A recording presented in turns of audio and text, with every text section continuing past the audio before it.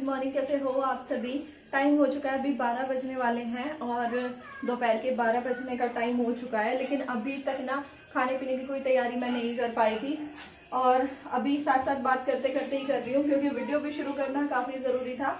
तो बस अभी छुटकू को है ना, मैंने नहलाया, नहला के उसको रेडी करके, उसको हो गया मतलब आधा पौना घंटा करीब, लेकिन वो सोने का नाम ही नहीं ले रहा था तो बस अभी अपनी तरफ़ से उसको सुला के बाहर आई थी। यहाँ पे आवाज़ ना मुझे अपनी म्यूट करनी पड़ी, क्योंकि पीछे ना भजनों की आवाज़ आ रही थी तो उससे कॉपीराइट आने का डर रहता। तो जैसे ही मैं बात कर रही थी, उसके बाद जो है भजन चलने शुरू हो गए थे और उस टाइम मैंने ध्यान नहीं दिया। तो थोड़ी थोड़ी अब आवाज़ आ रही थी और यहाँ पे मैं कर रही हूँ तैयारी आज नमकीन चावल बनाने की, क्योंकि मेरे जो है बंद थे ना सर, और फिर ये होता है कि नमकीन चावल थोड़े कम ही खाने चाहिए क्योंकि वो ठंडे माने जाते हैं तो बच्चे को सर्दी में सर्दी लगने का डर रहता है। तो इसलिए मैं ना काफ़ी दिन से बना ही नहीं रही थी और आज जो है ना काफ़ी सारी सब्ज़ियाँ थी, घर पर गाजर, मटर, आलू, गोभी और सर्दी में तो है ना ये सारी सब्ज़ियाँ जब तक ना हो ना, तब तक बनाने का मन भी नहीं करता। गर्मी में तो देखो बस एक दो ही अपने पास आलू, टमाटर वगैरह डाल लिया, प्याज डाल लिया, हो गया। लेकिन सर्दी में जब सारी सब्ज़ियाँ आ जाती है ना तो अलग ही मज़ा आता है ना, नमकीन चावल खाने का।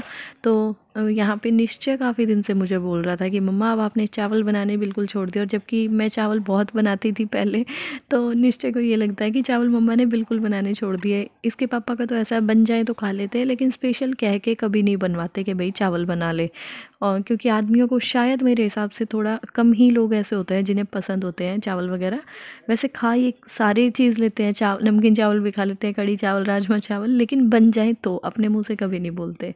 तो फिर मेरे को भी ये था कि मुझे तो खाने नहीं है और निश्चय के लिए मैं बनाना भूल ही जाती थी। तो आज निश्चय ने बोला तो फिर?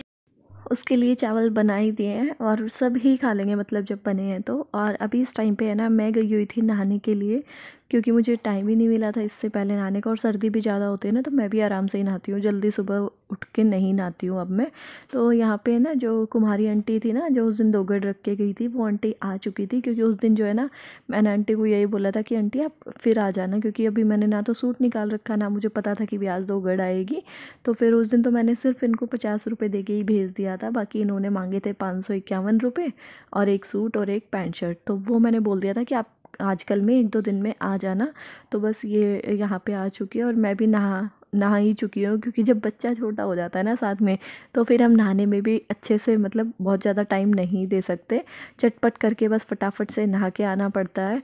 और दूसरी साइड में ना मैं कुछ कपड़े रख के गई थी तो बस वो कपड़े मैं पीछे फैला रही हूँ तार पे, क्योंकि आंटी तो मम्मी के साथ बैठी हैं और बैठी ही रहेंगी, अभी तो बात बात कर रही है तो आराम से जो है ना मैं निकाल लूँगी अब सूट साड़ी अंदर जाके। साड़ी नहीं सॉरी सूट ही निकालूँगी क्योंकि इन्होंने सूट ही बोला था और यहाँ पे थोड़ा सूटों का ही पहनावा ज़्यादा है तो सूट ही निकाल दूँगी, है ना? क्योंकि किसी को देने का फ़ायदा तभी होता है, देना ऐसी ही चीज़ चाहिए जो इंसान पहने भी। देखो, मेरा तो मानना यही है कि ज़रूरी नहीं है कि सिर्फ़ अपने सगे सगे हैं तो भाई हो देखो, उनको अच्छा दो या फिर बाहर के हैं तो उनको ऐसा वैसा दे दो। नहीं, मुझे तो बल्कि ये लगता है कि इंसान कहीं बैठेगा, कहीं जाएगा और दो जगह दिखा भी दे कि भैया उनके से मिला है तो वो मतलब हर कोई देख के यही कहे कि नहीं भाई, बहुत अच्छा दिया है, बहुत अच्छा पहनने लायक सूट दे रखा है है ना? और वीडियो अच्छी लगी है तो वीडियो को लाइक ज़रूर कर देना चैनल पर पहली बार हो तो सब्सक्राइब कर लेना। और अभी यहाँ पे मैं आपको दिखा देती हूँ कि मैंने ना पैंट शर्ट निकाला था और पैंट शर्ट ना आ, मतलब मेरा बिना पैक वाला था क्योंकि पैंट शर्ट तो आपको पता है देखो इधर से उधर ही होते रहते हैं इनमें कुछ हल्का भारी नहीं भाई क्योंकि ना कोई इनको सिलवाता अब ना कोई इनको पहनता सिलवा के। बस आपने मुझे दिया मैंने आगे किसी और को दे दिया फिर उसने किसी और को दे दिया ऐसे ही घूम फिर के कई बार तो वापस भी आ जाता है अपने पास। और ये हाँ। आंटी के पाँच सौ रुपये रख दिए हैं भाई। और ये मैंने सूट निकाला है। जैसे मैंने उस दिन अपने चाचा जी की लड़की के लिए निकाला था ना सेम वैसा ही सूट है। और देखो मेरी शॉप है आपको पता ही है तो एक एक सूट जो है ना कई कई पीस मिल जाते हैं। तो इन आंटी को भी बस मैंने यही सूट दिया है क्योंकि वो फिर मतलब अगर कुछ दो भी हल्का और फिर अगला बंदा मुँह से बोले तो उससे अच्छा है ना कि भाई पहले ही अपनी तरफ़ से ही अच्छा कर दो। तो बस इस पर भी टेप वेप मार के और सही कर दूँगी, क्योंकि यहाँ पे ना मेरे पास नई पन्नी है, घर में वो सब सारी चीज़ें तो मेरी शॉप पे ही हैं। बस कुछ सूट ना मैंने इनसे मंगवा के घर पे रख लिए थे कि भाई अगर देने लेने पड़ेंगे तो फिर आप ले आना, क्योंकि जब प्रोग्राम करेंगे उस टाइम तक तो मैं खड़ी हो जाऊँगी, बिल्कुल फिट हो जाऊँगी ना तो फिर मैं खुद जाके ले आऊँगी, क्योंकि कुआ पूजन से पहले जो है ना मैं शॉप भी नहीं खोल सकती थी और अभी जो है ना मेरा आना जाना हुआ भी नहीं अभी तक शॉप पे। तो यही लेके आए थे। और आंटी को जो है ना मैंने सूट, वो दे दिया था सूट, पैंट, शर्ट, लेकिन आंटी ने बोला कि ये सूट तो उल्टा ले जा बेटा तारीफ़ की बार मैंने साड़ी दे दे। और मैंने जो है ना सूट निकाल रखा था इतने मन से और आंटी ने फिर ये बोल दिया। फिर मैंने सोचा, चलो, साड़ियाँ तो मेरे पास बहुत रहती हैं, क्योंकि मेरे को मतलब ये होता है ना कि किसी किसी के साइड में सूट चलते हैं, किसी के साइड में साड़ी तो मेरे मायके की साइड में ना साड़ी ज़्यादा चलती है। हाँ। साड़ी तो मेरे पास ना हल्की भारी हर तरह की मिल ही जाती है ज़्यादातर घर पे। और क्योंकि आना जाना देखो कहीं ना कहीं जैसे लगा ही रहता है तो फिर वहाँ से हर तरफ़ से साड़ी ही मिलती है। तो बस आंटी के लिए वही मैं साड़ी निकाल रही हूँ। और आंटी ने बोला था कि मतलब ऐसे निकाल दियो जो आने जाने में सिंपल सी पहन सकें भाई लड़की के लिए, क्योंकि आंटी तो पहनती नहीं है कि मैं अपनी लड़की को दे दूँगी। मैं कहा, ठीक है आंटी तो फिर मैं साड़ी निकालती हूँ, ढूंढती हूँ। अगर आपको पसंद आए तो साड़ी ले लेना, वरना फिर ये सूट ही ले जाना आप। तो चलो भाई, अब चलते हैं और दिखाते हैं बाहर की सूट पसंद आया या साड़ी पसंद आई। क्योंकि मैंने तो देखो दोनों ही ऑप्शन रख दिया अब उनके सामने। और अब मैं आंटी को साड़ी दिखा दूँगी जो भी उनको सही लगेगा वो ले लेंगे क्योंकि सूट भी उन्हें पसंद आई था। उन्होंने पहले देखते ही बोल दिया था कि नहीं सूट अच्छा है बढ़िया है सूट लेकिन मतलब मेरे को अभी की बार तो साड़ी दे दे क्योंकि लड़की को देनी है। फिर आंटी को है ना साड़ी भी बस यूँ बोले कि साड़ी की मेरे को तो ज़्यादा नॉलेज नहीं है तो बता सही है या नहीं है? मैं कहा आंटी मेरे पास साड़ी सारी अच्छी ही होती हैं। तो फिर बोले कि ठीक है तो यह साड़ी ही दे दे की बार। आप सभी लोग आपका स्वागत था नई चैनल वाली वीडियो में। अगर आपको वो वीडियो अच्छी लगी हो तो फिर लाइक और सब्सक्राइब कर देना।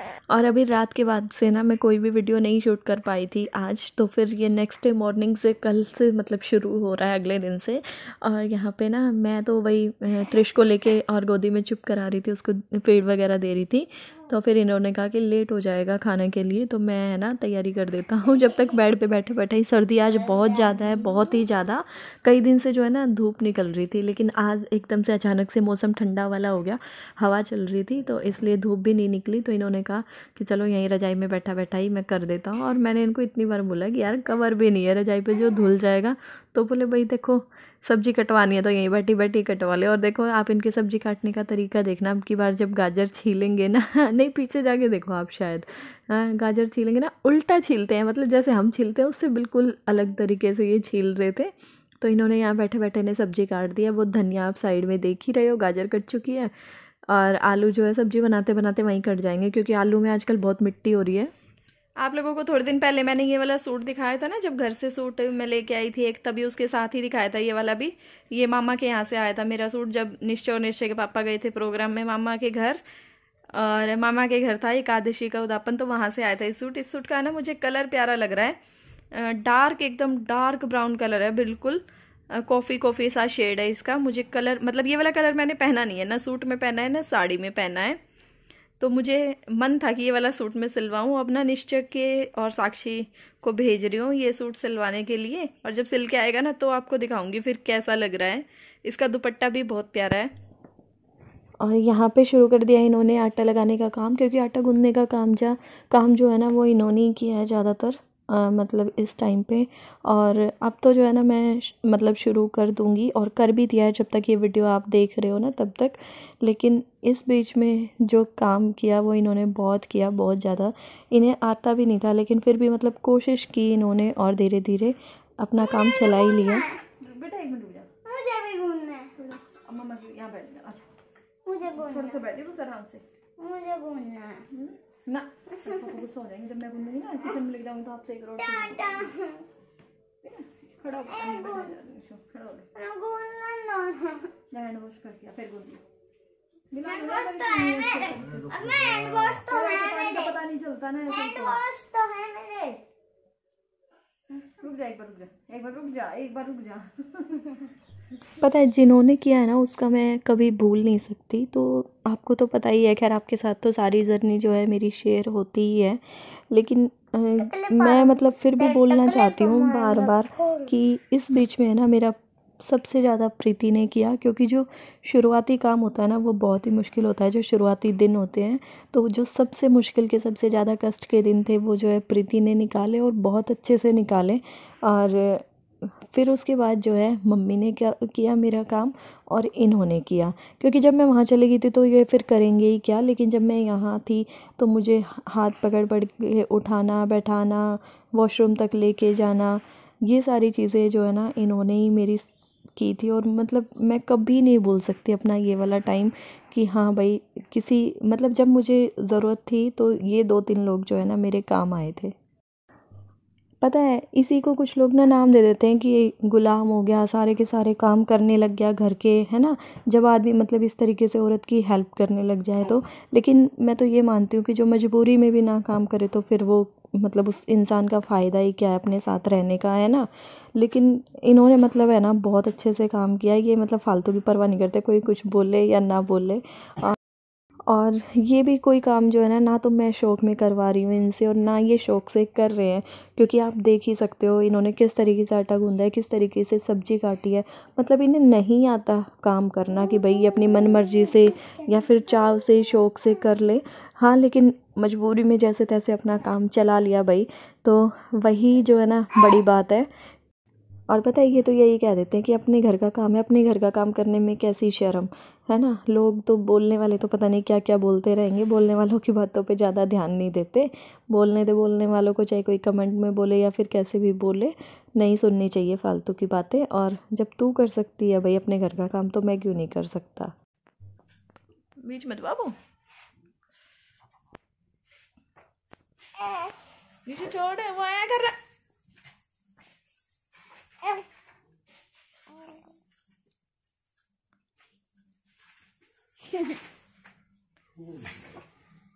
देख एक बार इसने छोटे ने जल्दी देख। और निश्चय को यहाँ पे ये लग रहा था कि मैं ना इनकी फ़ोटो खींच रही हूँ दोनों भाइयों की। निश्चय बार बार मुँह बीच बीच के मेरे को यही बोले जा रहा है मम्मा खींचो ना मम्मा खींचो ना। मैं क्या बेटा खींच नहीं रही हूँ फ़ोटो वीडियो बना रही हूँ अभी मैं आपकी।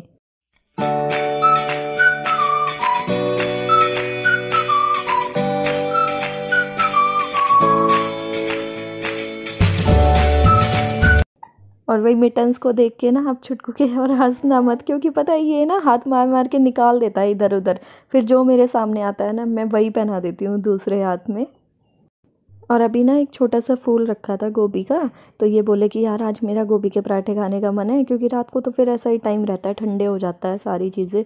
और कभी मतलब मैं सो जाती हूँ तो फिर ये मुझे उठाते नहीं है तो फिर मतलब ठंडा ही खा लेते हैं। और अगर मैं उठी हुई होती हूँ तो गर्म करते हूँ तो फिर ये बोले कि दिन में आज तो गर्मा गर्म गोभी के पराठे खिला दे। तो इनके लिए मैंने वो गोभी कस ली है।